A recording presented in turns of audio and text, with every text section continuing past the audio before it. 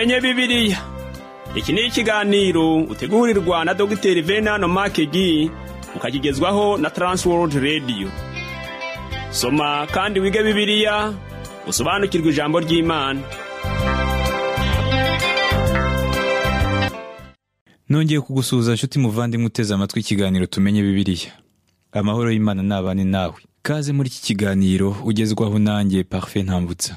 Mu kiganiro cy'ubushize twabonye ko umurongo imana irema umuntu mu ishusho yayo ari rimwe mu magambo akomeye imana yavuze yose. Ndakubwira ko nta rindi jambo ryiza ryangana n'iri. Ese risobanura iki? Umuntu ni nk'imana nk'umwe mu butatu bwayo. Ubu nyine hari ushobora kuvuga ngo nzi ibyo ushaka kuvuga. Urashaka kuvuga ko nsa n'imana ku mubiri mu bwenge no mu mwuka. Yego ndabyizera ko ari ukuri. Pawulo mu rwandiko rwa mbere rw'abatesalonike ibice bitanu umurongo wa makumyabiri na gatatu aravuga aya magambo.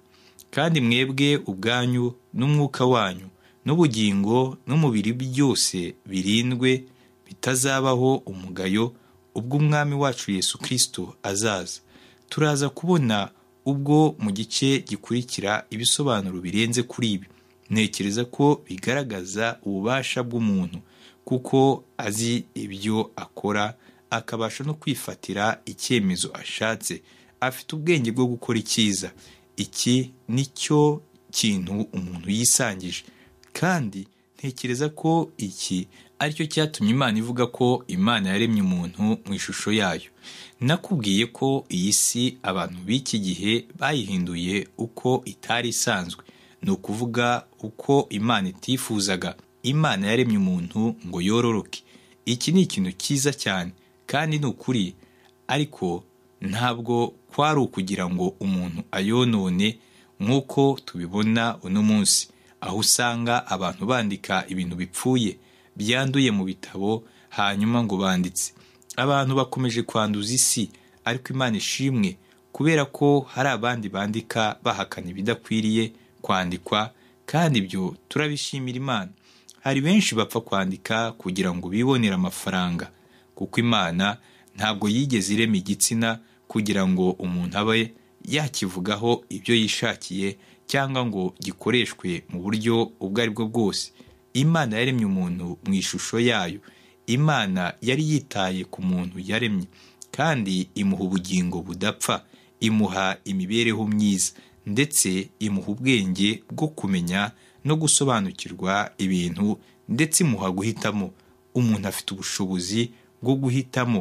Afite ubushobozi bwo gukora ikibi cyangwa icyiza. Yaremwe mu ishusho y'imana. Nakubwiye ko imana yaruhutse ivuye mu mirimo yayo ku munsi wa karindwi. Ubwo imana yamaraga iminsi itandatu yo kurema yarebye ibyo yaremye ibona ari byiza cyane. Ubwo rero nta kindi yagombaga gukora. Buri gihe iyo mvuye ku kazi mu biro byanjye nisanga mfite utundi turimo duto ku ntebe. Nta na rimwe nari nicara ngo mvuge nti ndarangije byose. Ariko imana yarabikoze. Nyuma y'iminsi itandatu yararuhutse ku munsi wa karindwi kuko yari irangije umurimo wayo. Iri ni rimwe mu magambo akomeye. Mu gitabo cy'abaheburayo haratubwira ngo natwe nk'abizera twinjire muri ubwo buruhukiro kandi ni byo twahawe isabato yayo. Twinjiye mu gucungurwa kwera kwayo yapfiriye ku musaraba imyaka ibihumbi makumyabiri irenga ku bwawe nanjye kandi iduha uko gucungurwa ngo tukubemo. Nicyo gituma pawulo yanditse agira ati nuko rero ubwo twatsindanishirijwe no kwizera dufite amahoro ku mana kubw'umwami wacu yesu kirisito soma baroma ibice bitanu umurongo wa mbere. Turashima imana kuko yesu yarangije byose ku musaraba. Inshuti yanjye uyu munsi rero ndashaka ko tuganira ku kuremwa k'umugore. Impamvu imana yamuremye turebe n'icyo imana ivuga ku bukwe. Ngaho ukomeza ufashwe mu izina rya yesu.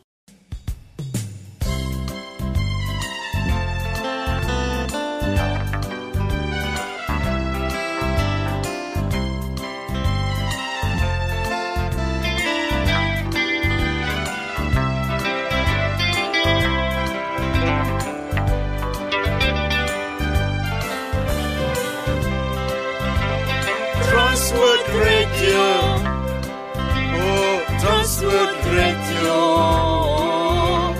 Transworld Radio. Transworld Radio. Sambirana. Sambirana. Sambirana. Usemera. Sambirana. Sambirana. Sambirana. Usemera. Imana ihabwa icyubahiro. turabona hano ko iyi si tubayemo yabayeho kuva imyaka myinshi ishize. Imana yayigendagendagamo umwuka w'imana nawo ugendagenda ku mazi. Mu by'ukuri ibi bitwereka ko imana yaremye isi mu busa nta kihereyeho. Uko niko kuremwa kw'ijuru n'isi. Ubwo yaremwaga ku munsi uwiteka imana yaremyemo isi n'ijuru. Itangiriro ibice bibiri umurongo wa kane. Kandi akatsi kose ko mu gasozi kari kataraba ku isi n'ikimera cyose cyo mu gasozi cyari kitararuka.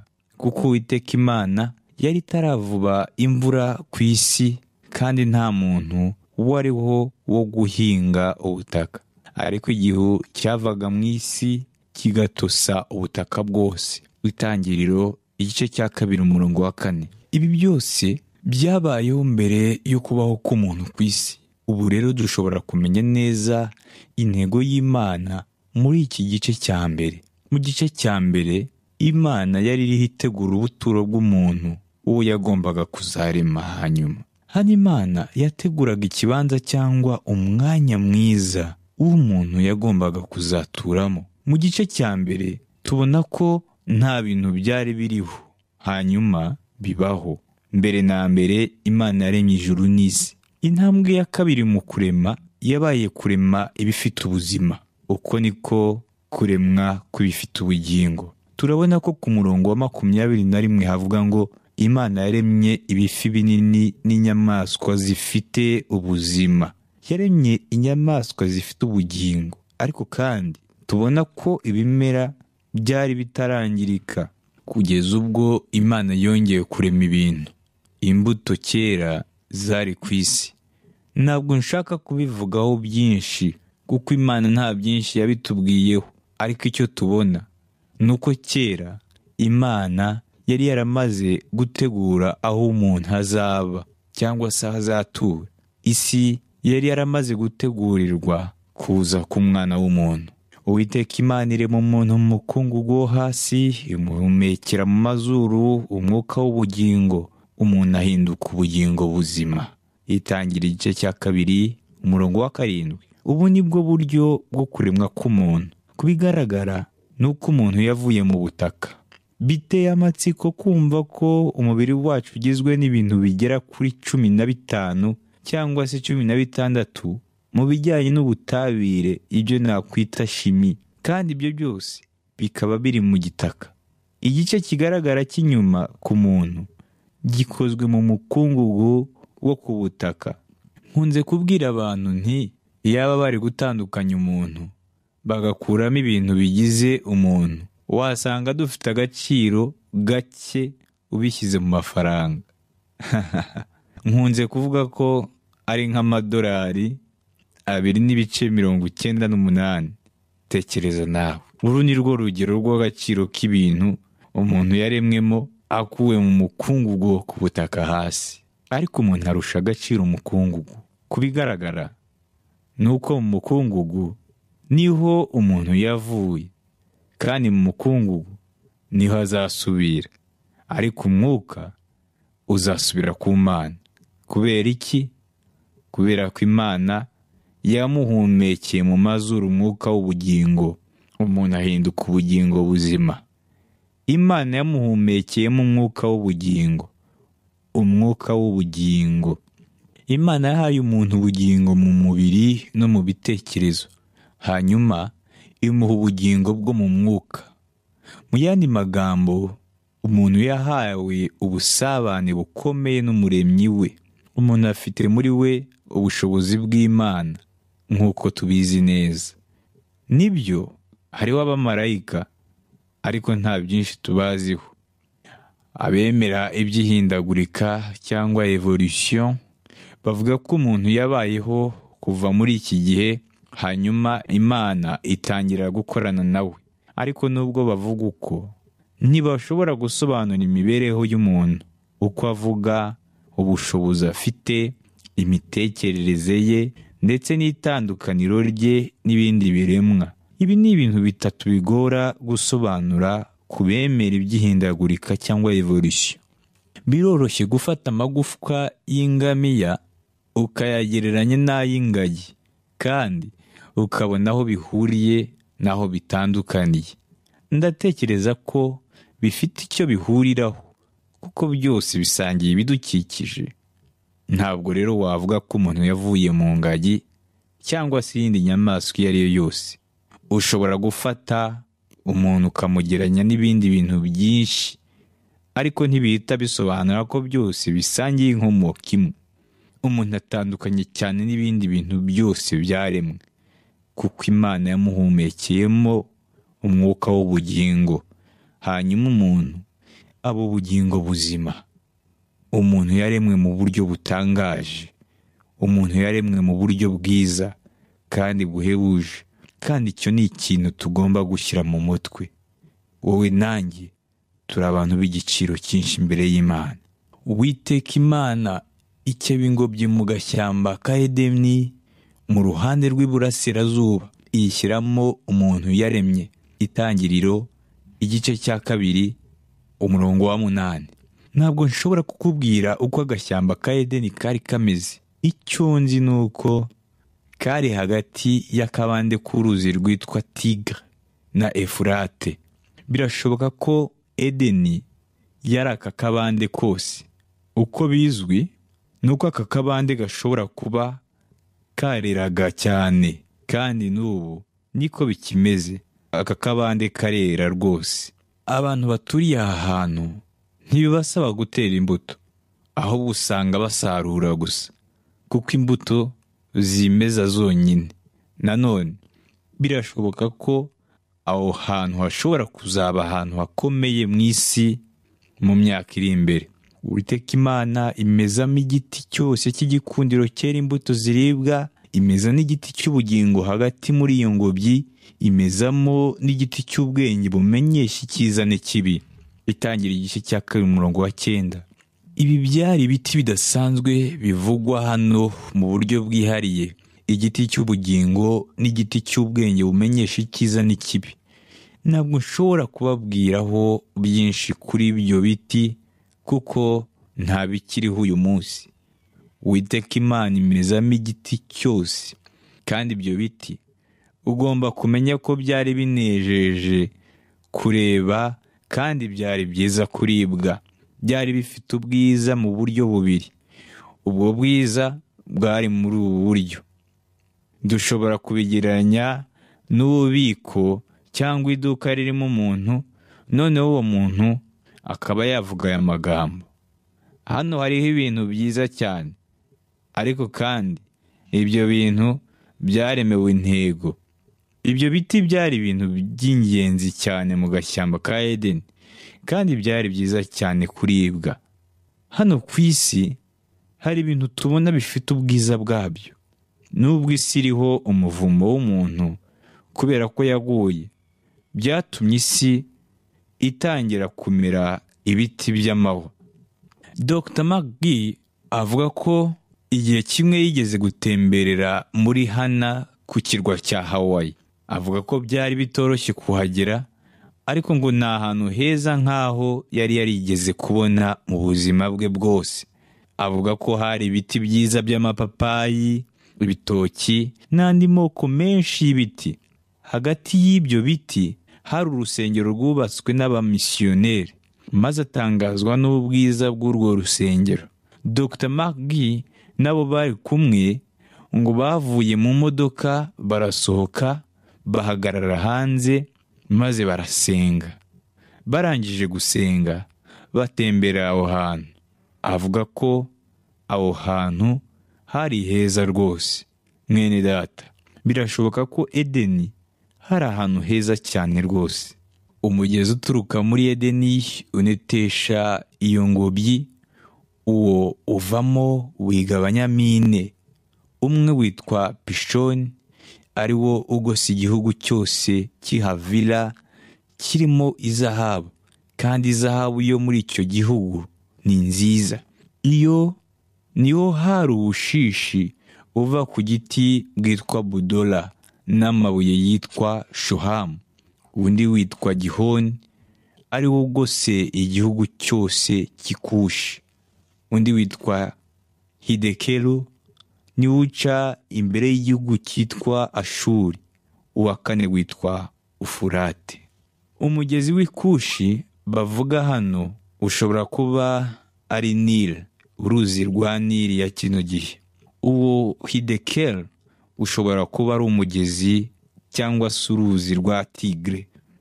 Uwiteka imana ijyana wa muntu imushyira muri iyo ngobyi yo muri edeni ngo ahingire ibirimo ayirinde. Itangiriro igice cya kabiri umurongo wa cumi na gatanu. Uyu muntu ahabwa ubutware n'ubushobozi kandi ibyaremwe byose biramwubaha.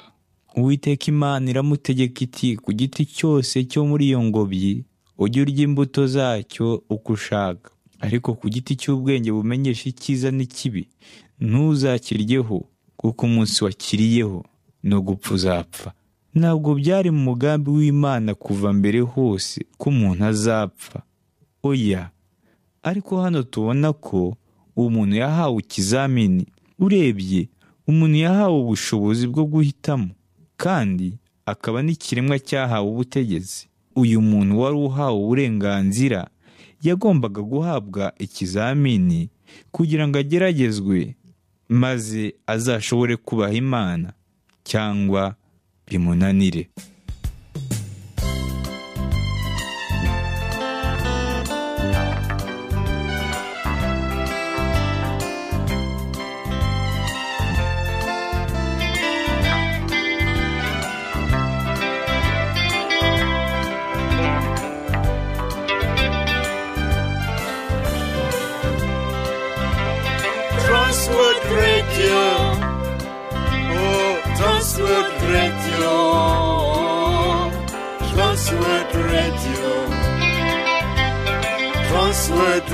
Radio. Sambirana, Sambirana, Sambirana, Usembera.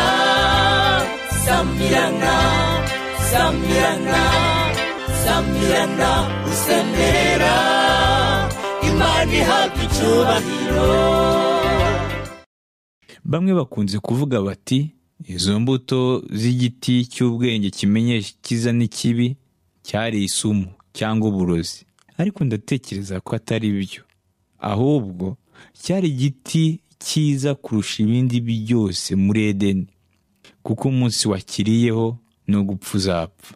Wibuke ko umuntu ari ikiremwa cyaremwe gisa n'ubutatu bw'imana.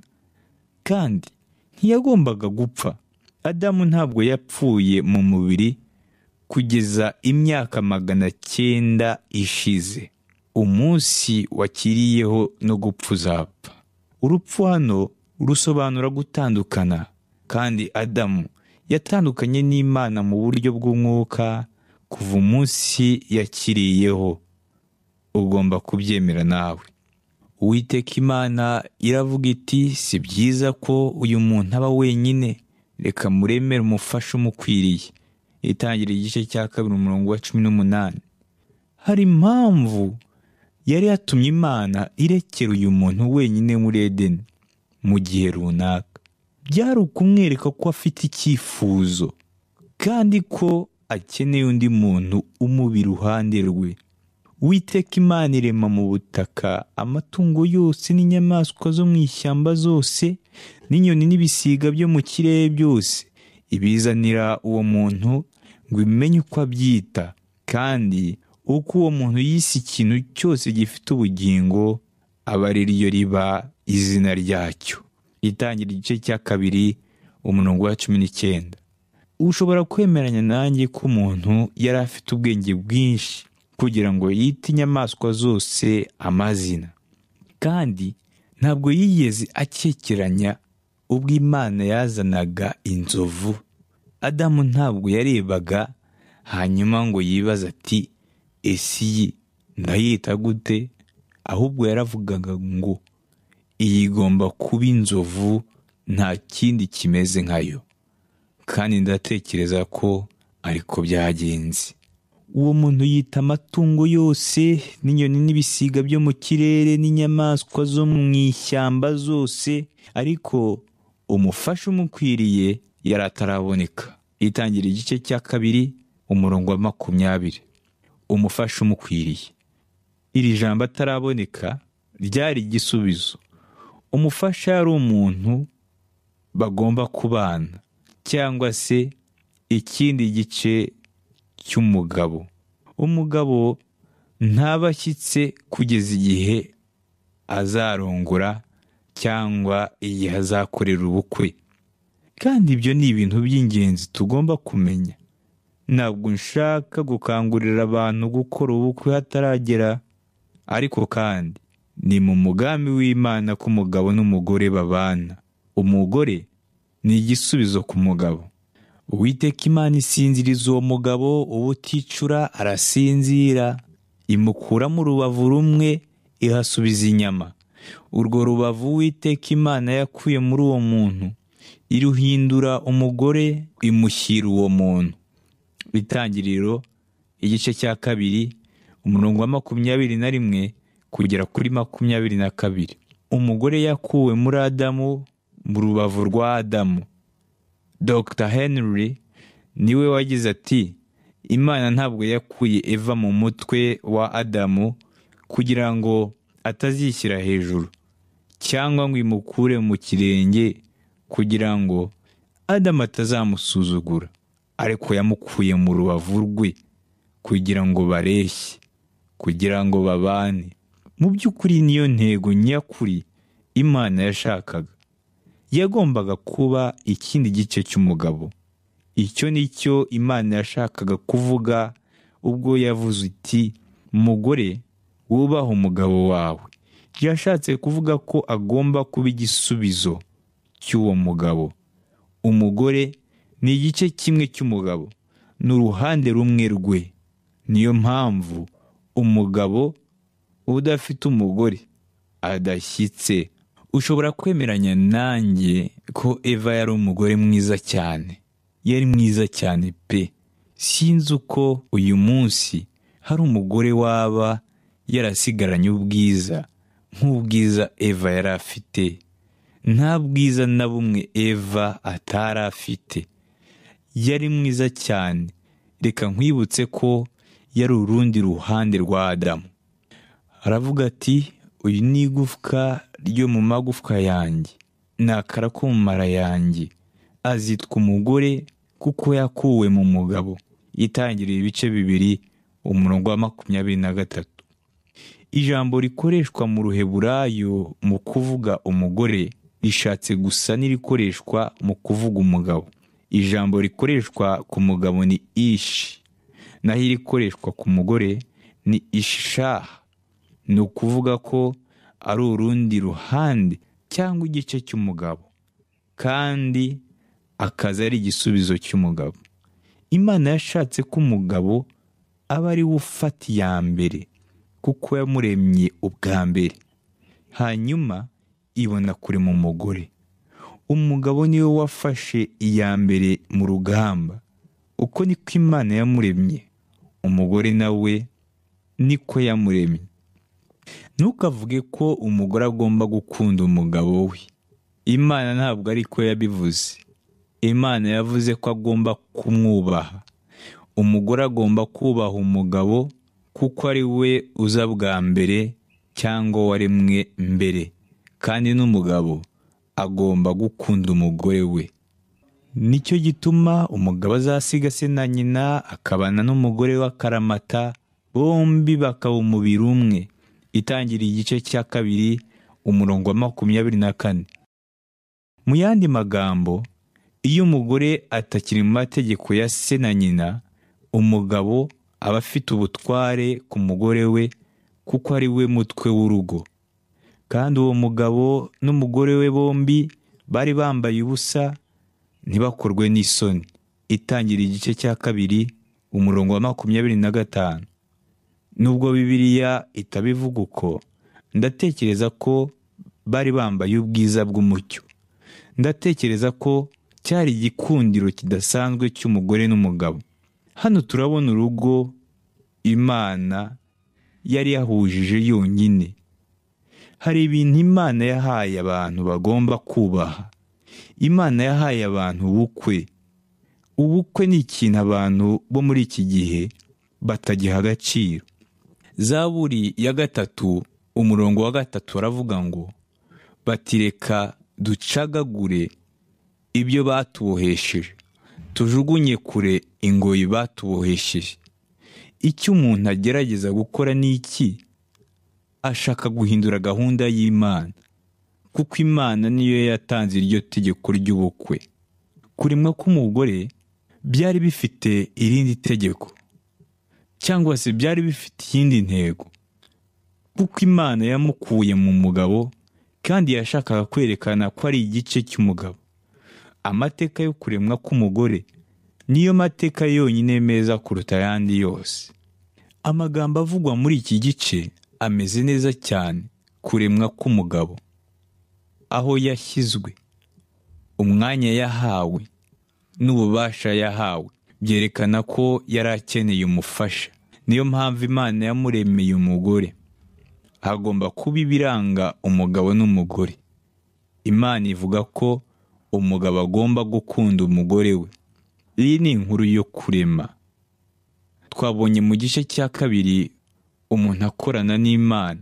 Kuramya imana ubutware bw'umuntu buva ku mana. Ubuzima busanzwe bw'imibanire y'umuntu n'imana. Aya niyo magambo nyamukuru twabonye. Uburyo imana yashatse gukorana n'umuntu yaremye mu gutegeka no kurinda ibyo yaremye no gusabana na yo mu kuyiramya no kuyiha icyubahiro ndetse no kuyihimbaza. Ndatekereza ko ari cyo nge nawe twaremewe mwene data. Reka dusenge. Witeka mana ndagushimiye kugira neza kwawe kwinshi. Ushimwe ko wabonye ko umugabo adakwiye kuba wenyine maze umuremera umufasha ndasengera imiryango yacu cyane cyane abashakanye ngo ubiyereke ubaho urukundo muri kino gihe cya none. Ubumwe ndetse ubuzuze kuzuzanya. Umugabo akunda umugore we. Kandi n'umugore yubaha umugabo we kuko ari itegeko ryawe. Mu izina ryawe yesu kirisito amen.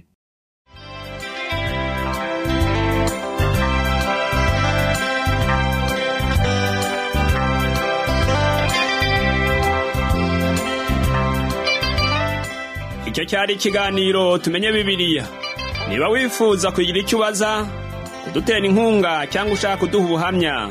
Ushobora guhamagara cyangwa kohereza ubutumwa bugufi kuri telefoni igendanwa.